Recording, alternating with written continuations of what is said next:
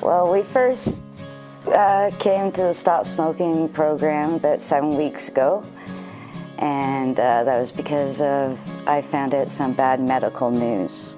We heard about this program, came. My husband was supportive of it and wants to quit with, along with me. We've been smoking for, well, I've been smoking for 34 years. So it's been a long time, and we really like this program because it's so supportive and it helped me cut back.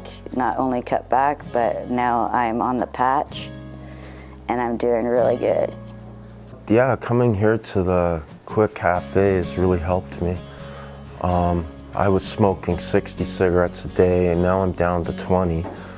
And it's given me hope that I can quit. I know I can quit. It's just a matter of time. I will quit.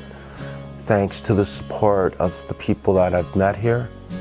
It is less cigarettes in the house, so I'm going to have a smoke-free home very, very soon, I hope.